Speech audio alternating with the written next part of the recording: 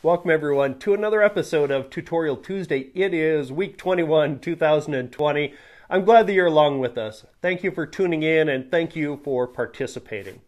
I have two announcements this time and then we'll get right into your questions. So with that, announcement number one, I'd like to personally thank DJ Evans for coming out and doing a two and a half minute video as I covered the branding out at Ensign Ranches. Go ahead, swipe over, tune in to that. You won't be disappointed. Announcement number two if you haven't listened to the latest episode of the Small Business Roundup podcast, go ahead, swipe over, listen to that. We interview Sophia Hoekstra on her unfortunate experience with that fraudster 70 Saddle Shop. Uh, let's get right into your questions, you guys. Great question here. So, I use the Cotton Carrier G3 system. It's absolutely fabulous, and it's the only harness system that I would ever use on horseback with my cameras. Swipe over, take a look at that. If you watch that video that DJ did on me, um, I'm wearing this Cotton Carrier G3 right here. There's a camera mount in the middle on this chest plate, and then there's also a removable camera mount on the side. So that's perfect for me because I carry two cameras all the time. My 70 to 200 goes here, my 16 to 35 goes right here. On the inside, there's this little nylon pouch that you can see and I usually put my phone in there. I will tell you, it does get uh, it does get a little warm putting this on, but you know, if you're going horseback, there's absolutely nothing better and secure to hold your equipment without it getting smashed to hell. So check this out. Great question, Sarah, and to be honest, I wouldn't expect any less from you. So, with that said, inspiration and creativity kind of go hand in hand for me, and I'll give you my thoughts on it and some anecdotal tips. In these times, especially through April and about middle of May, it's really hard to get down on yourself, especially with this virus out there, because almost every, well, every one of my event jobs canceled on me. And with every event job canceling in April and May, what I had to do was come up with my own content ideas find people that would share that idea with me, and go create content to stay inspired. So, in general, one of the ways that I stay inspired is by reading books and going to the library. Uh, whether those books are on um, art, painting, uh, philosophy, whatever that is, I'll find a passage that inspires me.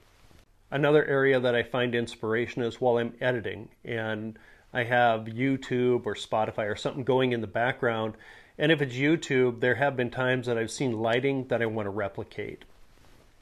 Another way to get inspired is actually by going way back in your archives. For me, I can go back over 10 years and pick out an image and do a new edit to it. Um, that's another way to stay inspired. I think for many of us, it's really easy to get caught up in the negativity and get down on ourselves for not getting out there and creating over and over. But the key to not getting down on yourself is getting out there. Yeah, good question. So, number one, you can use what's called a gray card, set it in the lighting conditions that you're going to be shooting in, take a picture, and then set that custom white balance. So, let's go ahead and do that. Okay, setting that custom white balance with your gray card. The exposure settings I'm going to use as wall. My exposure settings are 1 30th of a second at ISO 800 f4. So let's take that picture and see what it looks like. All right, you can see it's pretty warm right there. Now let's change over to that custom white balance. So up top here, I'm just going to move my white balance over to the custom right there. Then I'm going to fill the frame with the gray card. So it looks like that. Now we're going to go into menu and set that custom white balance right there. And I'm going to retake the picture.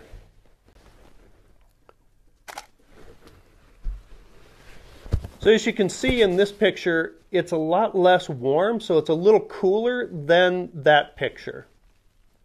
That's one way of doing it. Now, after that one minute tutorial of using the gray card, I have to tell you the truth. I haven't used a gray card in many, many years because it's too much of a hassle for me to take it out, take the picture. Lighting conditions are very different, especially in arenas.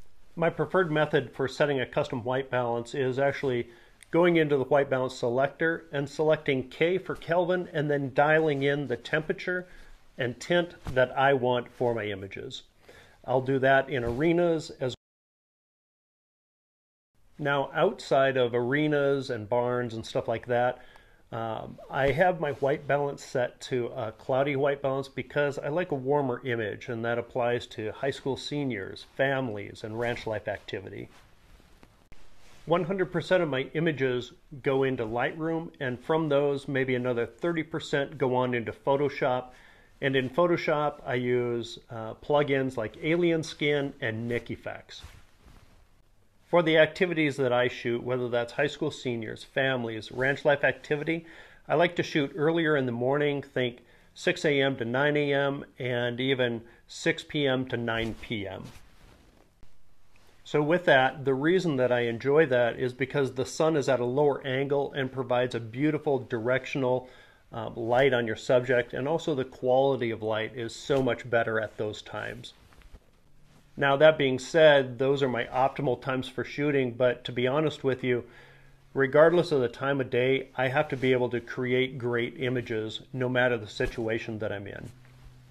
Generally speaking, I'll expose for the highlights, and in this case, since this is a backlit image, I'm exposing for that light. Now, I do know that the sun is blown out in there, but I don't care about that because my main subject is a branding smoke. For me, it's not the expense part, and what I mean by that is it's knowing that I have a full frame camera that its sensor is able to get a broader dynamic range of colors and also handle high ISO much better. Now, as far as the expensive part of the camera goes, what I would say is this um, you can go out to discount places like KEH and get L series lenses and a full frame camera for a fraction of the price that you would buy brand new.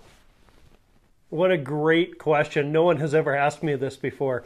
So, captioning my images, the source of inspiration just comes from um, conversations with friends or uh, business related experience or even so, along with the business experience and also, you know, just daily life experience, you also experience different things on your photo shoots.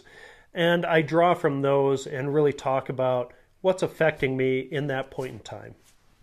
Yeah, good question here. So, over almost the last decade or so, every branding, every ranch life activity that I've been out to, I've been invited to. It's not something that I've ever invited myself to. So, thank you for asking.